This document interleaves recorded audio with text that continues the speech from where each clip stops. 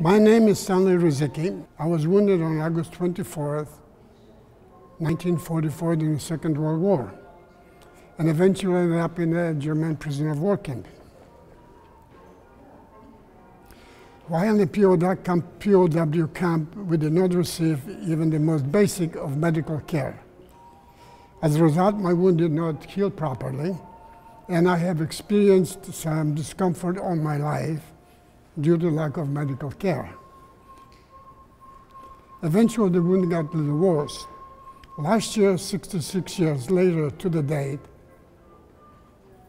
that I was wounded, Dr. Albert Hakaim, H-A-K-A-I-M, and his capable staff at Mayo Clinic performed a vascular surgery,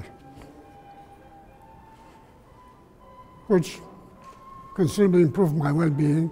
I am most grateful for the skills that Mayo Clinic doctors and their staff members possess, as they were able to correct a 66 years old injury.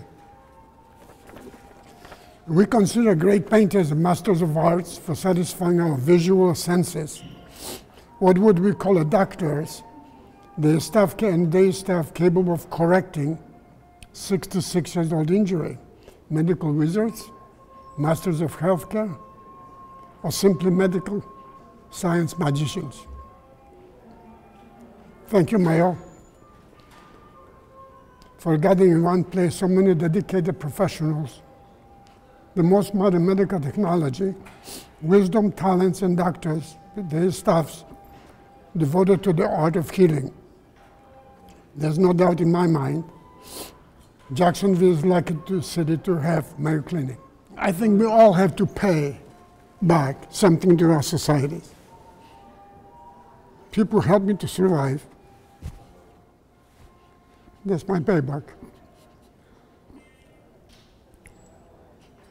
Every day, when I drive back to my home after serving my hours, I thank the Lord for pushing people rather than being pushed in a wheelchair myself. So I'm very grateful for that. You only have one life. When somebody saves that life, you're grateful for it.